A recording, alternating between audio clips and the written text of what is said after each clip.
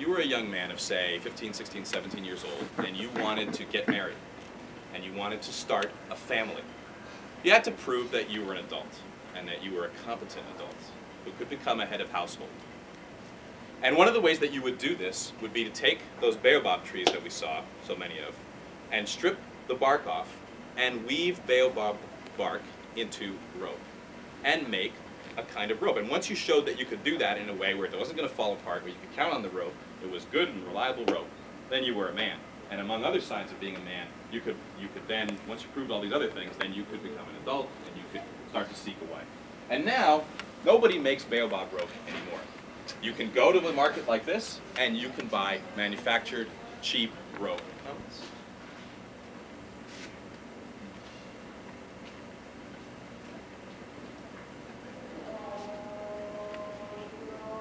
The, the other thing about this song is that it's a wildly popular song, and people really love this song. The prayer and, and song? They, they respect, what's that? The pr- call to prayer? No, not that song, this song. Uh, which is about science, and it's about the Dogon people. The Dogon people who fled Islam, and around the 11th century, when Islam was coming across, as I was mentioning before, coming across the Sahara, the Dogon didn't want to convert.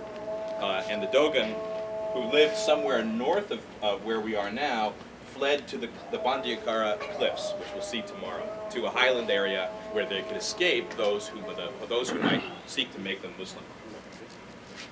Now, you're going to see that the Dogon have an extremely rich and complex culture.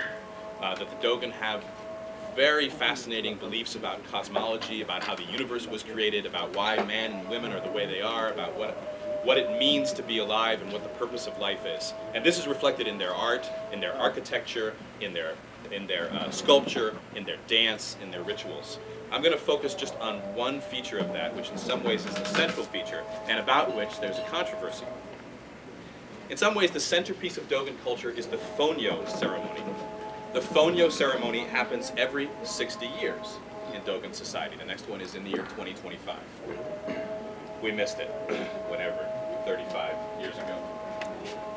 In the Fonio ceremony, the Dogon uh, undergo a series of community rituals designed to ensure that the Fonio, which is the Dogon word for millet, the staple crop, will be fertile and productive for the next 60 years.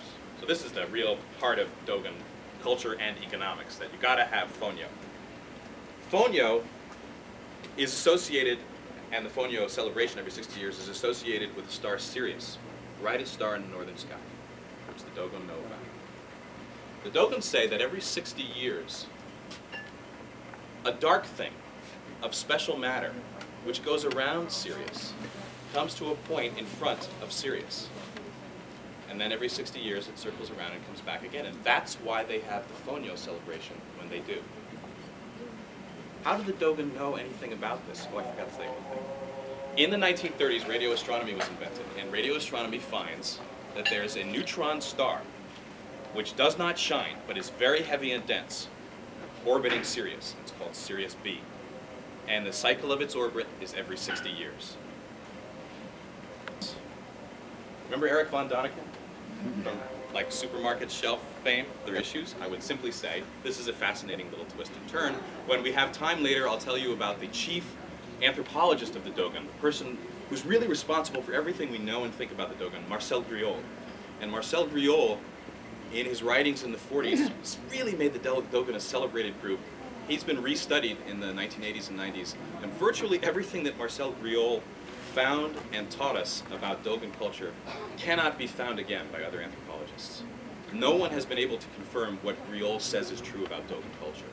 And what Griaule says is true about Dogon culture is the reason why Dogon masks are so expensive. And it's the reason why we're going there in some ways. So, let me just leave you with the takeaway point. Even in very poor and traditional places, I would want to suggest to you that cultures are like living organisms. Here and elsewhere they can change and they can adapt, sometimes very quickly and sometimes very slowly. And so when we look at so-called traditional places and traditional primitive societies, it's important for us to look through lenses that enable us to see this creativity, this agency, this inventiveness. Thanks for your attention.